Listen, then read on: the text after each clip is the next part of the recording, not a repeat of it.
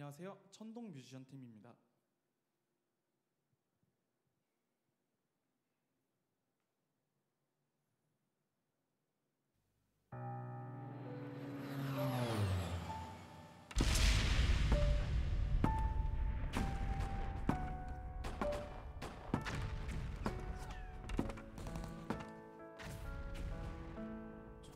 년 7월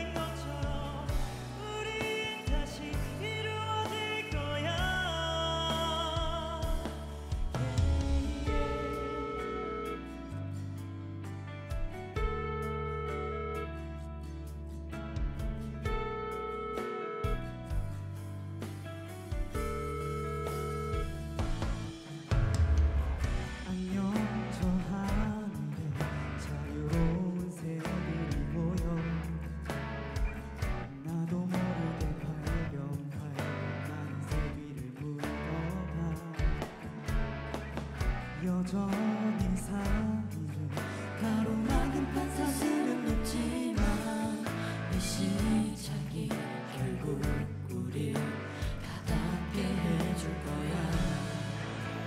38선에 가려진 우리 흑백으로 된 시간을 지나 희망의 빛으로